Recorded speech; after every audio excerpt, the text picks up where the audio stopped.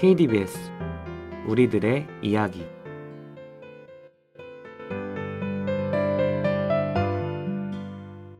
하구 여러분 안녕하세요. 울긋불긋한 단풍이 눈부신 가을이네요. 지금은 가을에 단풍빛 노을이 물들어 낭만적인 저녁입니다. 어느새 올해도 두 달이 채 안 남았습니다. 한 해의 마지막까지 그것이 무엇이든 여러분의 소망이 많이 이루어질 수 있길 함께 기원하겠습니다. 네, 지금까지 DJ 홍주영의 감성 한 스푼이었습니다. 주영 씨, 이제 우리 소개를 할까요? 하고 여러분, 안녕하세요. 주인공은 마지막에 등장한다고 하죠. 저희는 우리들의 이야기 제73기 수습구원으로서 대미를 장식할 박상혁, 홍주영입니다. 네, 그러면 이제 본격적으로 로망 토크를 시작해 볼까요?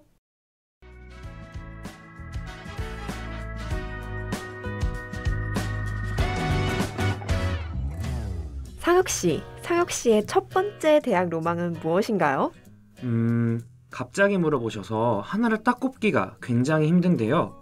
혹시 주영 씨는 있나요? 저는 동기들과 함께 강의실에서 수업을 듣고 모여서 과제도 하면서 서로 희로애락을 나누는 것 자체가 어쩌면 정말 당연한 일인데도 코로나 시국 때문에 하나의 작지만 소중한 로망이 된 것 같아요. 아, 정말 그렇네요. 주영 씨 말씀을 듣자마자 로망 하나가 딱 떠올랐는데요.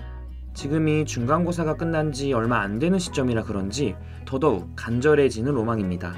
바로 동기들과 잔디밭에서 돗자리를 깔고 술을 마시는 겁니다. 아, 술이라면 맥주나 소주를 말씀하시는 건가요? 주영 씨, 아니죠. 잔디밭에선 당연히 막걸리와 파전 아닌가요? 그러다가 파가 떨어지면 술 취한 척 옆에 잔디 몇 개 뽑아서 만들고 그러는 거 아니겠어요? 네, 진심이신가요? 농담입니다, 주영 씨. 그렇게 동기들과 술도 마시고 또 대학생만이 누릴 수 있는 자체 휴관권도 쓰면서 당일치기로 동기들과 함께 여행을 가는 것도 하나의 로망이라고 할 수 있겠네요. 여기서 자랑이라고 할까요? 실제로 저는 동기들과 대천으로 당일치기 여행을 다녀오기도 했답니다. 근데 흔히들 무박 1일을 당일치기 여행이라고 하잖아요. 저희는 그날 저녁에 계획을 짜서 갔다 와서 당일치기 여행이라고 부르기로 했다는 재밌는 에피소드도 있네요. 와, 부럽습니다. 상혁 씨는 벌써 로망 하나를 성취하셨네요. 맞습니다. 저도 동기들과 함께 여행을 떠나는 게 정말 큰 로망이에요. 그리고 여행 속의 여행, 맛집 투어도 빠질 수 없죠. 주영 씨, 뭘 좀 아시는데요? 그렇게 동기들과 함께 여행도 다니고 맛집 투어도 하다가 좋은 사람과 마음이 맞으면 CC도 되고 그러는 거 아니겠어요? 잠시만요, 주영 씨.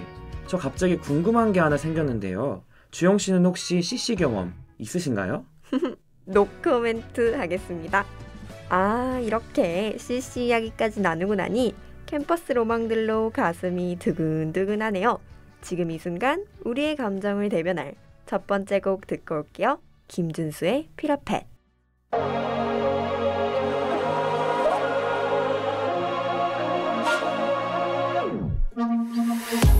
한순간도 놓칠 순 없어.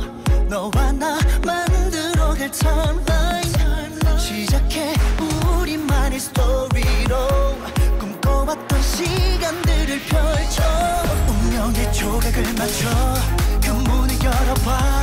새로운 세계가 열릴 거야. 뜨거운 채우는 느껴 Just follow me tonight 약속했던 그 시간이 온 거야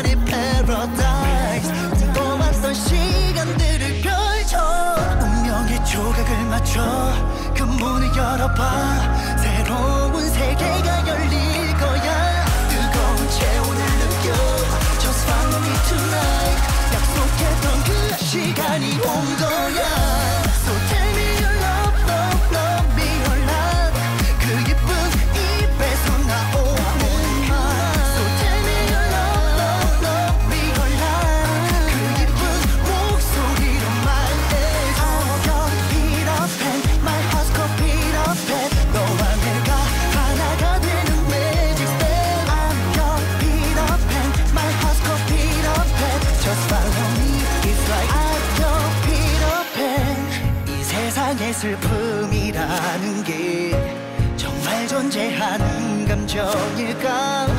너를 알고부터 슬픔을. I forgot, got, got, got.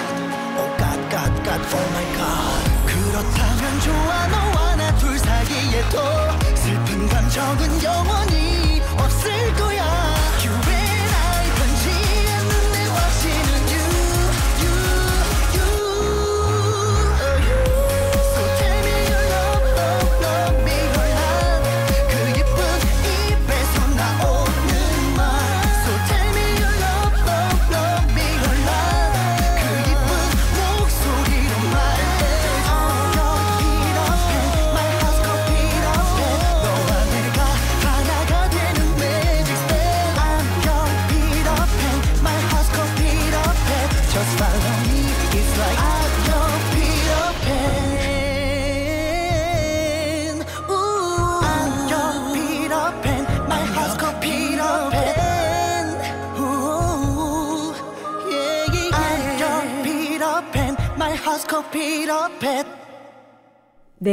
김준수의 피러펫이었습니다. 노래 제목 피러펫이 두근두근이라는 뜻이잖아요. 리드미컬한 노래라 신나면서도 설레는 감정에 맞게 심장 소리를 표현한 사운드가 인상적입니다. 김준수 씨의 노래들을 참 좋아하는데 뮤지컬계에서 내공이 있으셔서 그런지 감미로우면서도 파워풀한 목소리가 참 매력적인 가수라고 생각해요. 당연하죠. 준수 씨 가창력은 두말하면 아니 말하면 입이 아파요. 저도 오늘 방송을 통해서 이 곡을 처음 만나게 되었는데요. 주영 씨가 이 노래의 리듬에 관한 얘기를 해주셨으니 저는 가사에 대한 얘기를 해보고 싶어요. 노래 도입부에 한순간도 놓칠 수 없어 시작해 우리만의 스토리로 꿈꿔왔던 시간들을 펼쳐라는 가사가 등장하는데요. 지금 이 순간 라디오를 함께 청취하고 계시는 하구 여러분들 모두 마음껏 꿈꿔왔던 시간들을 펼치시면서 로망을 성취하는 여러분만의 인생 스토리를 만들어 가셨으면 좋겠습니다. 네, 앞서 첫 번째 로망으로 대학 동기들과 어울리는 소소한 로망들을 나눠보았는데요. 다음은 어떤 로망에 대해서 이야기를 해볼까요? 저는 내돈내산 라이프에 대해서 이야기하고 싶어요. 대학생 하면 역시 외부의 간섭에서 벗어나 자유를 누릴 수 있다는 것이 가장 큰 장점이죠. 저는 학술정보원에서 근로장학생으로 일을 하고 있는데요. 그 전까지는 부모님께 용돈을 받아 소비를 했다면 지금은 제가 번 제 돈으로 제가 사고 싶은 물건을 제 맘대로 살 수 있는 게 너무 좋은 것 같아요. 네, 맞습니다. 누군가의 눈치를 보지 않고 자유로운 소비 생활을 할 수 있다는 건 정말 큰 행복이죠. 어렸을 때는 갖고 싶은 물건이 있어도 쉽게 소비를 하지 못하고 간식 하나도 마음 놓고 사 먹기가 어려웠던 것 같아요. 어린 시절에 저는 상혁 씨가 말씀해 주신 것처럼 빨리 어른이 되고 대학생이 되어서 flex life를 누려보는 것이 로망이었습니다. 상혁 씨는 최근에 가장 잘했다고 생각이 드는 내돈내산은 무엇이었나요? 저는 최근에 학업에 열중하기 위해서 아이패드 프로를 하나 장만했는데요. 화면이 커서 그런지 눈이 너무 편하고 영상에 집중할 수 있어서 너무 좋은 것 같아요. 오, 아이패드 프로라니 대단하신데요? 상혁 씨도 flex life를 즐기고 계시는군요. 요즘 대학생에게 태블릿은 필수품이죠. 그런데 정말 학업에 열중하기 위한 목적이 맞나요? 처음에 산 목적은 학업에 열중하기 위해서가 맞지만 솔직히 요즘은 유튜브를 보기 위해 장만했나 싶을 정도이긴 하네요.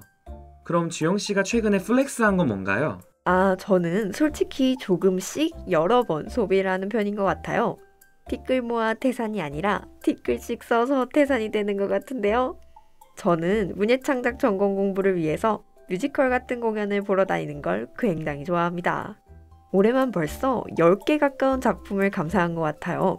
한 번 한 번의 소비가 쌓이다 보니 이제는 꽤 큰 지출이 된 것 같네요. 그래도 매우 행복하답니다. 아, 공연 너무 좋죠. 근데요, 주영 씨. 주영 씨도 정말로 전공 관련 지식을 쌓기 위해 공연을 관람하신 것이 맞나요?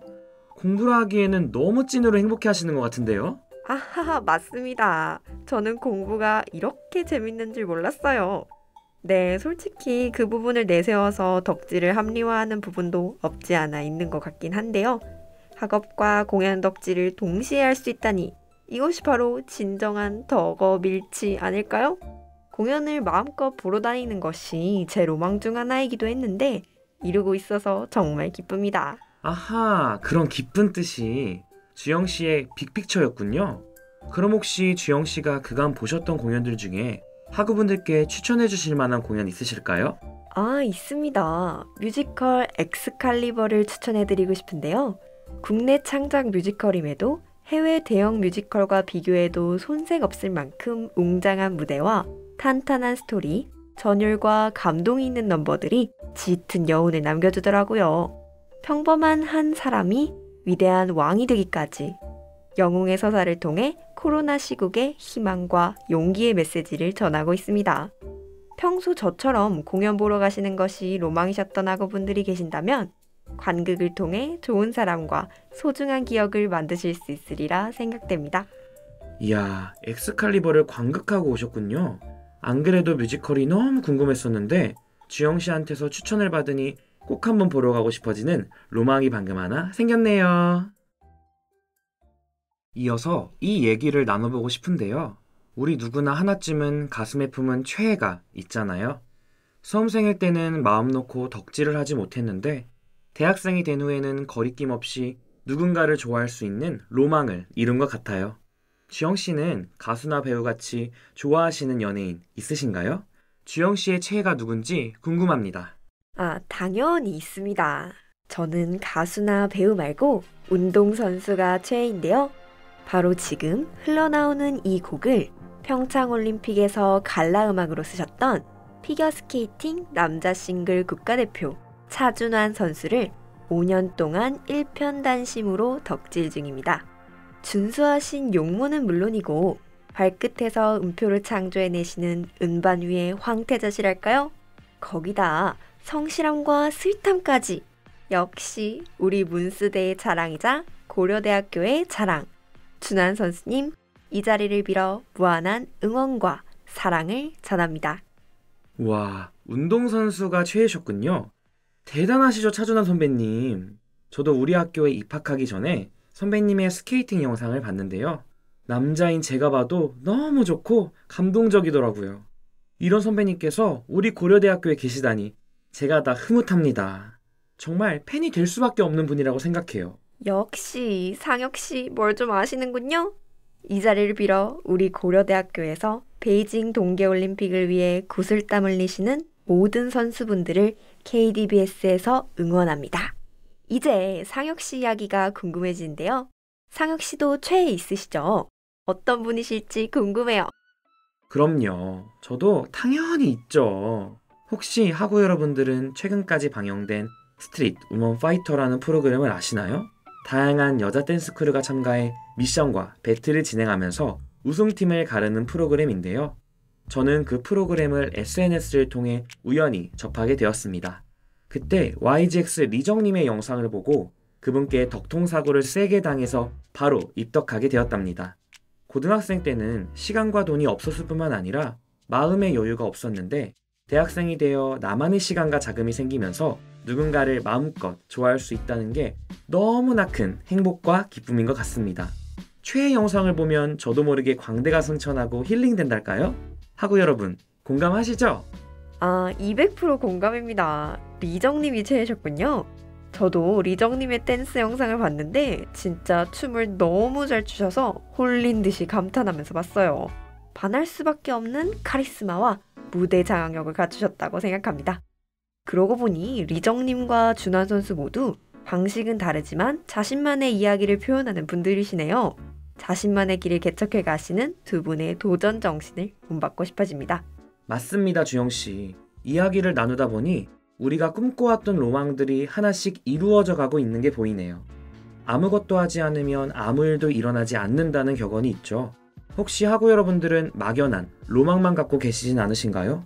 그 로망을 마음속에 품고 있는 것보다는 행동으로 옮기시면 놀라운 결과가 있으리라 생각합니다. 지금 여러분께 들려드리고 싶은 노래가 하나 있는데요. 바로 유재석, 이적의 말하는 대로입니다.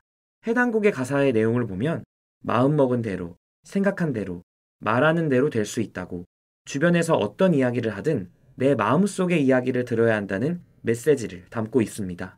20대는 다시는 없을 청춘이죠.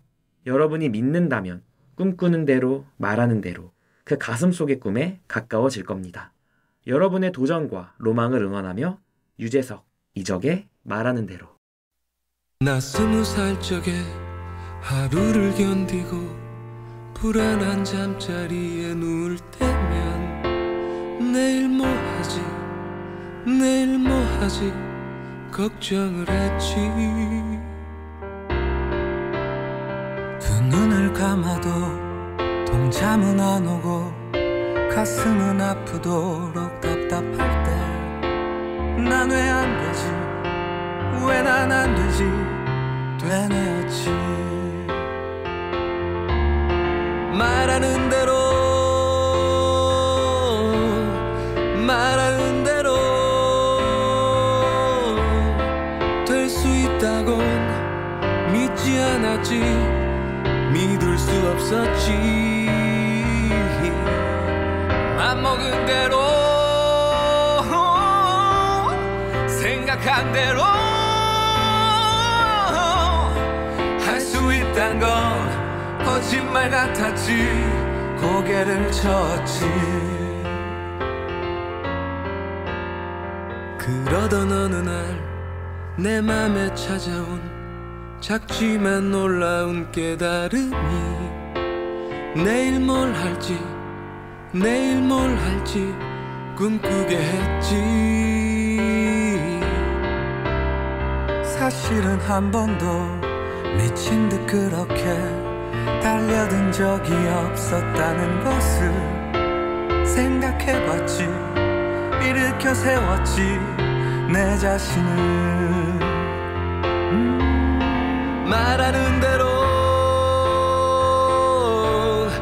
말하는 대로 될 수 있단 걸 눈으로 본 순간 믿어보기로 했지 맘먹은 대로. 생각한 대로. 할 수 있단 걸 알게 된 순간 고개를 끄덕였지. 맘먹은 대로 생각한 대로 말하는 대로 될 수 있단 걸 알지 못했지. 그땐 몰랐지. 아, 이젠 올 수도 없고 갈 수도 없는 힘들었던 나의 시절 나의 20대. 멈추지 말고 쓰러지지 말고 앞만 보고 달려 너의 길을 가. 주변에 사는 수많은 이야기. 그러나 정말 들어야 하는 건 내 마음속 작은 이야기. 지금 바로 내 마음속에서 말하는 대로. 말하는 대로 말하는 대로 있다고 될 수 있다고 그대 믿는다면 맘먹은 대로 내가 맘먹은 대로 생각한 대로 그대 생각한 대로 도전은 무한히 인생은 영원히 말하는 대로 말하는 대로 말하는 대로 네, 듣고 오셨습니다. 위안과 용기를 주는 감동적인 곡이네요. 하, 어느새 즐겁게 이야기를 나누다 보니 시간 가는 줄 몰랐는데 벌써 작별 인사를 드릴 시간이 다가왔습니다. 저도 시간만 더 있었다면 더 많은 얘기를 나눌 수 있었을 텐데 아쉽습니다. 하지만 아쉬움이 있어야 다음이 또 기대되는 법이죠. 지금까지 청취해주신 하구 여러분들께 감사드리며 저희는 계속해서 여러분의 꿈과 로망을 응원하겠습니다.